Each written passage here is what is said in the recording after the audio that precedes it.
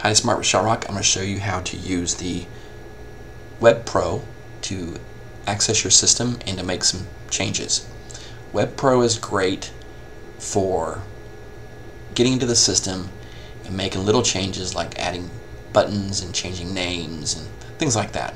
Where PC Pro is used for the initial install and when you're making large changes or you need to see an overview of the entire system. But Web Pro is just a GUI interface that is really handy to make most changes after the system's already installed. So go find your favorite browser and put in the IP address of the system. Hit enter. Here is your login screen and you're going to use the login to get into the actual programming of the phone system. So mine is here, my name, and then the password. Click login. I am in the system now and most of this you won't ever use. Most of it's just going to be the system data. System data is where all the programming is stored. So click on system data. Get in there, you can notice it's just like PC Pro.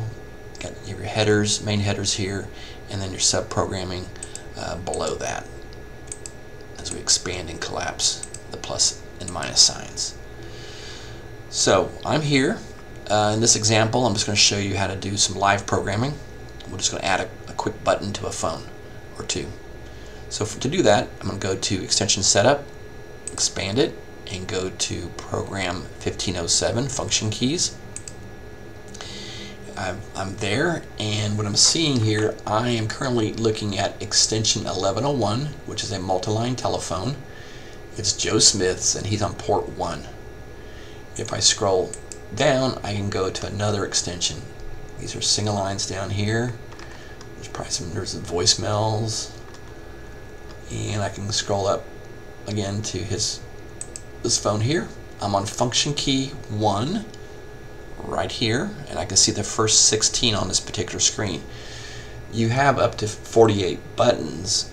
Most systems though the phones are just 24 so if you go to say function key 10 now you can see 10 through 25 and there's the 24th button the last button bottom uh, right on the phone alright let's go go back to button 1 function key 1 hit the little search button there so here I am um, in this particular case let's say I have button function key 9 on my phone and I want to make it a one-touch DSS key to see the guy a couple cubicles down from me or in maybe in another office. So here we go. Here's my options and there's my DSS one-touch key and I can put an extension number. Let's say I will do 1103 and hit save or hit apply and that save has taken place. That's all I need to do. It's a live uh, program change and the phone is ready to go. So on button 9, it's a DSS key, and if extension 1101 lifts up their handset makes a phone call, it'll light up red on my phone. And it's also a one-touch key. If I press it on my phone, it will call extension 1103. If I wanted to copy that to another user, let's say the guy next to me, 1102 wants wants that same key right there, I can go, if I wanted to, I could go and do a copy. I'm currently on extension 1101 and I want to copy it to 1102. I can click on that one phone or I could click on multiple phones if I wanted to. In this case we're just going to do one. I can select all the keys or I can just select the number 9 that I'm working on and I can hit apply and that has taken place. So if I go to 1102 you can see the function key is there that I copied it and it's a live program change. I'm going to go ahead and just remove it. Hit apply.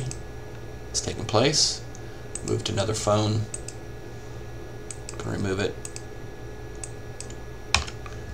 Hit apply it's taking place. If I go to basic settings, this is like the form view in the PC Pro. I'm just looking at this one phone here, 1101 or 1100 this is the virtual key. But if I go to 1101, this is the actual phone where I changed the name earlier. And that's my initial form view. And I have to pull down each phone and I'm going to see their programming. I could copy a particular line to all the phones if I wanted to, just like I did on the function keys. When you're done, be sure to click the home screen and be sure to log out to go back to your initial screen. If you forget to log out and then you need to get in with your PC Pro, it can hose the system up a little bit. You have to wait for it to time out. That is basically it on the uh, Web Pro. Gives you a, a, good view of what it looks like uh, compared to the PC Pro. If you have any questions, just give us a holler here at the help desk. That's helpdesk at shotrok.com, S-H-O-T-R-O-K.com.